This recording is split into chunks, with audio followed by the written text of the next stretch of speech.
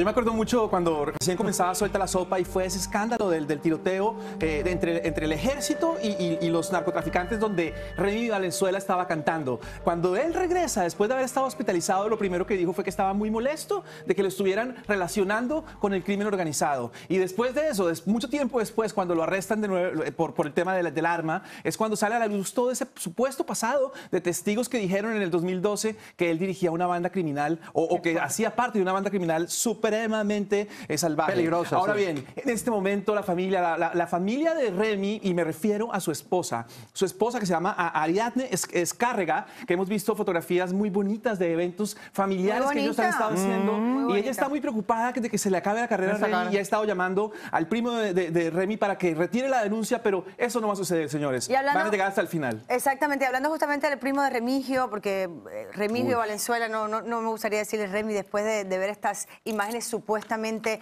eh, de esta golpiza. Bueno, nuestro compañero Alex Rodríguez habló precisamente con la mamá del primo y estaban en la mañana del día de hoy en el Seguro Social en México y parece que tienen que llevarlo a una cirugía, al procedimiento de una cirugía de ambos pómulos de la golpiza. Como quedó. Por otra parte, Katy, la novia del primo, pues también se está viendo afectada en su salud porque posiblemente tiene afectaciones en sus dos riñones y cuando le preguntaron wow. la abogada de una manera como si había sido oh, violada, la Dios respuesta mío. Fue contundente y dijo que no. Eso es lo que ah, está sucediendo okay. del lado. Tenemos más videos que seguramente serán mejores que, que acabas de ver. No te olvides de suscribirte a nuestro canal acá para que disfrutes de todo lo que tenemos para ustedes. Por ahora, eh, eh, también un like sería chévere.